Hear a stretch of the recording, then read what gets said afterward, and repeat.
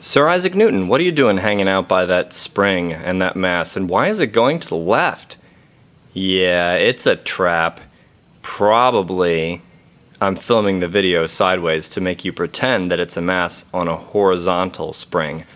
So let's pretend that it is for a while, and I'm going to pull the spring to the left, and I'm going to cause then, well, I guess I've added some energy to the system, and you can see that the spring will rebound and bounce for a long time. This is simple harmonic motion, and it's awesome. Turns out that pretty much everything within some limit acts a little bit like a spring. I'd like you to take a moment and push your nose in. You notice that your nose pushes back a little bit harder the more you push in. Ultimately, you're pushing it really hard, and your nose is pushing back really hard. So that demonstrates that everything is kind of a spring. We can define some things for simple harmonic motion. Like, I'd like to define this leftmost point as A, when measured from the equilibrium location. So we've got a is the distance from there to there, and also the uppermost point compared to equilibrium is A as well, the amplitude. And then we can define things like period. Well, that's clearly the amount of time it takes to get from the bottom back to the bottom, and you could time that using some video analysis right now. And we could also define the maximum velocity and uh, the maximum acceleration. We could look at the spring force. We could say uh, negative kx and do all kinds of things. But I'm going to do that with a piece of paper. Hopefully you've gotten the idea of what simple harmonic motion looks like. And Newton is impressed. Let me just throw some knowledge at you kind of fast and furious style. We had a wall and a spring and a mass over here and connected to the spring and the mass was doing well let's let's put some bounds on the mass's motion maybe it was going to here and it would crunch up to there and this location here was equilibrium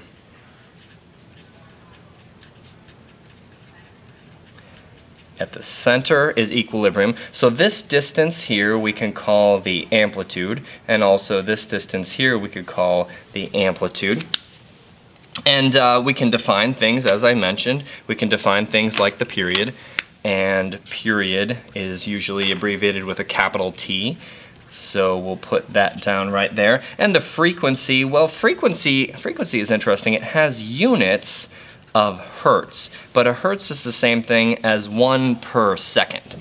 And so it's a rate, it's how often something is happening. And period, oh, what are units of period? Let's check that out. The units of period are seconds. So this implies a relationship. We can test it in a little bit, but uh, this implies that frequency is 1 over period. If you guys are good with inverses, we could also note that period is 1 over frequency. This is the happiest little physics relationship that you'll ever see because it's really easy to get from one to the other. And a hertz is one, well, it's one per second, but it's also kind of like one cycle per second, or one revolution per second, or one rotation per second, you know, various things like this. That's what frequency means. And we're gonna have something that's a little bit different than frequency pretty soon. So you gotta be cool with straight up linear frequency. The next thing is to define position. And I'm going to define the position of this, um, I'm going to define the position to be starting from zero, the position of the mass, starting from zero, and let's say that it's positive this direction. This is going to be my x-axis right there. And then that would be negative x. So if we do that, we can make this definition we define the motion. I think you would find it reasonable if I made the following graph. I'll make a graph of position as a function of time. And it should look like this. We're starting at a position of A, and as time goes on, the mass approaches zero and goes negative to, ooh, what's that value? I guess it goes negative to negative A, right? And then we'll come back to zero and go up to A again and then back down, etc. This is a graph of a function that you know and already love. I don't have to convince you of the beauty of this function. We got A here and negative A there.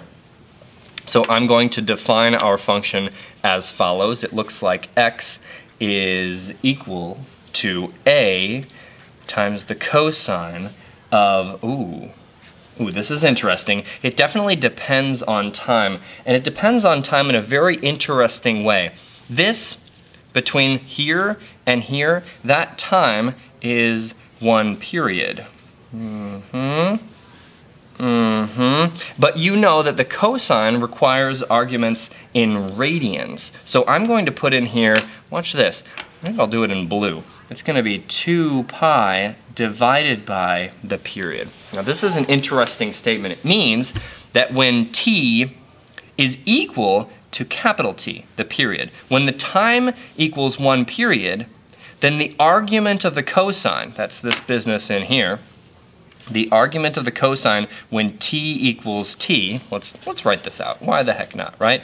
When t is period, then it's the cosine of 2 times pi.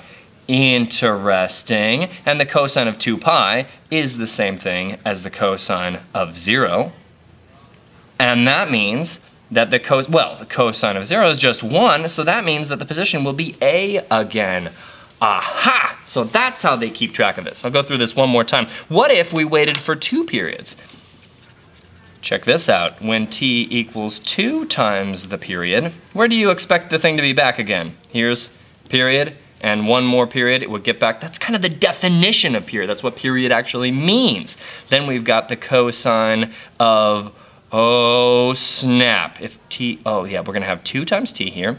T's, t's will cancel out, and we'll have 4 times pi the cosine of 4 pi is the same as the cosine of 2 pi is the same as the cosine of 0. Cosine is this wonderfully repetitive function, so we could say actually the cosine of n times 2 pi, any number, where n is any integer, we could have n be any of this set of integers, but as long as we've got an integer number of 2 pi's, we're going to have that cosine equal to 1, which means the position, so we can say the position is A, every time a period finishes up.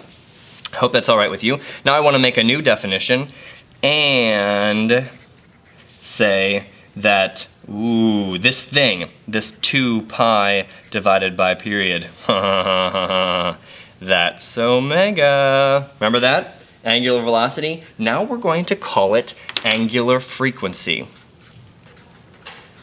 And they are pretty much the same thing.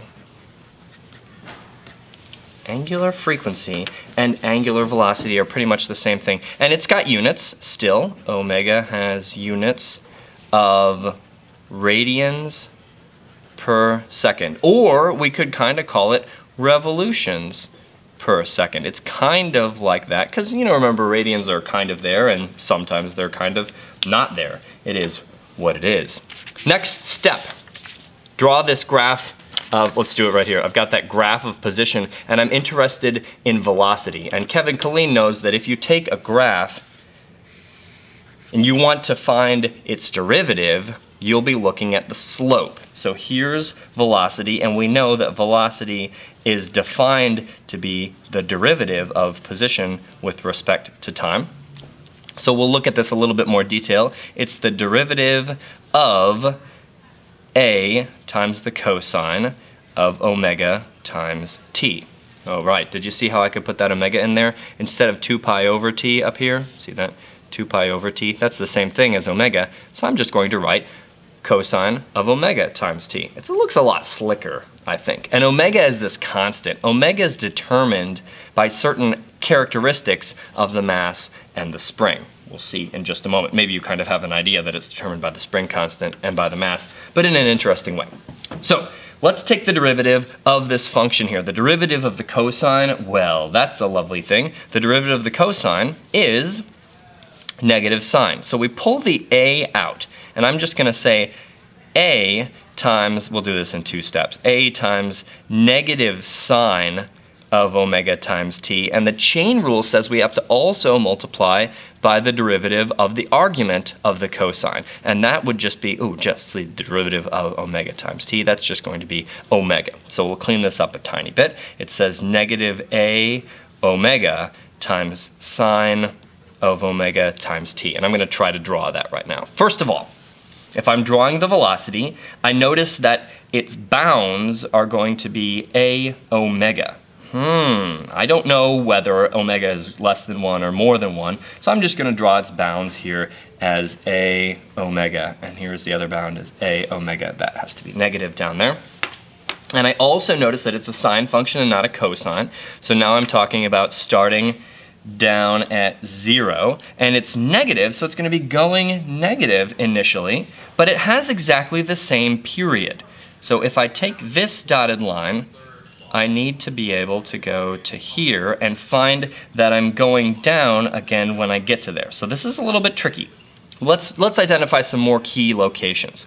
Let's identify the, um, what color do I want to use here? Let's identify the, the slope here on the position graph is zero. So I know I need to be at zero right here. And the slope is zero here, and the slope is zero here. So my velocity is zero at those points. My velocity is very negative right here.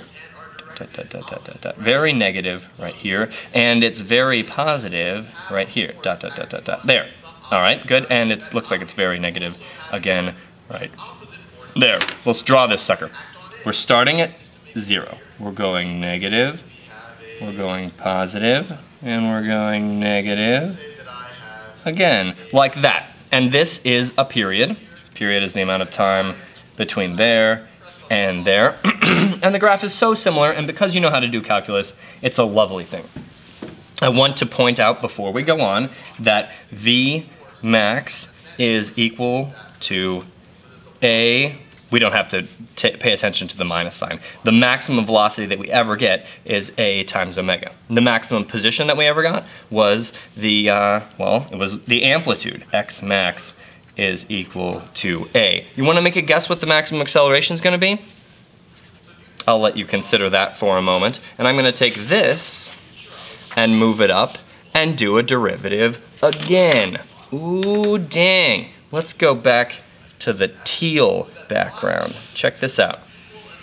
I want to think about acceleration, and I know that acceleration is the derivative of velocity with respect to time. So this is d dt of negative a omega times the sine of omega times t. So by the same procedure as before, we notice we can pull out the negative a omega, they're just constants, and then inside of here, I need to do the derivative of the sine function. Derivative of sine is cosine of omega times t, and then I have to multiply by the chain rule, I have to multiply by the derivative of the argument of the cosine function, sorry, the derivative of the argument of our sine function previously, is again just an omega. So check this out. We get negative a omega square times the, uh, let's see, where am I?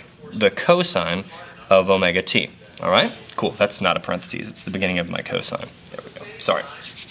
Now, I notice that is the bounds on our new function. And of course, our new function is acceleration versus time. Look at this, I didn't even label my axis over here. This was velocity versus time. So I'm gonna put some dotted lines down here and I'm gonna trace this sucker down. Let's see, when the velocity is level, that means there's no acceleration. So I expect no acceleration here, and I expect no acceleration here, and I expect no acceleration again here. And I expect maximum acceleration when the velocity is changing really dramatically. That's going to be, ooh, let's put those bounds on here. Here are those bounds. This is a omega square, and this is negative a omega square. And the bound is peaked right here, dot, dot, dot, dot, dot, dot, dot. And we've got a trough right here. Ooh, this is the negative cosine. So of course it starts at negative one, and we're gonna have, starting at negative one, it's a times omega squared times negative one. We'll start down there. And then we have a negative velocity change down here also. We're gonna be there, and I need to connect these dots. Get ready. Here we go. It looks like this. Oh, it's a negative cosine. Okay, awesome. And we can go back up to here and say, yep, we know what our maximum acceleration is. It is a times omega square. And we can make some really, really awesome statements here. The next statement that I want to make is that force is negative kx. It's a mass on a spring for crying out loud, right?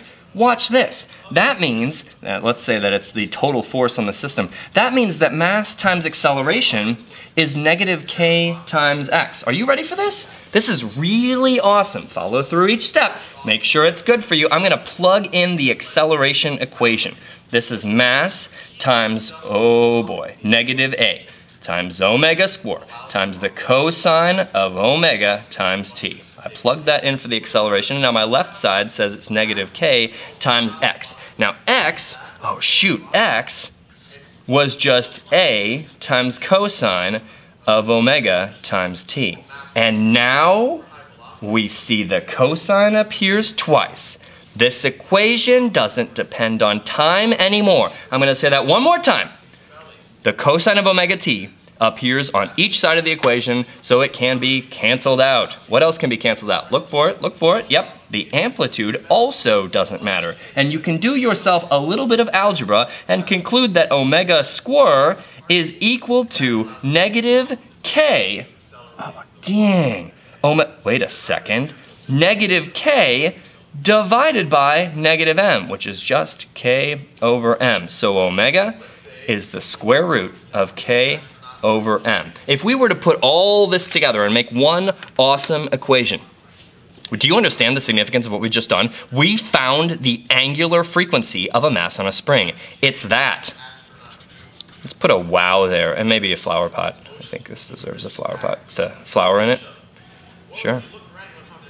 We do a flower, all right. And um, what I'm going to do is I'm going to conclude that this is the full equation for the position of a mass on a spring. The position depends on time, and it's like this. This is how the position of a mass on a spring depends on time. It is the amplitude times the cosine of, now instead of writing omega times t, I'm going to write what omega actually is, k over m, screwed times time. Wow. Here's another wow. Cool, we'll put another one down here. Wow.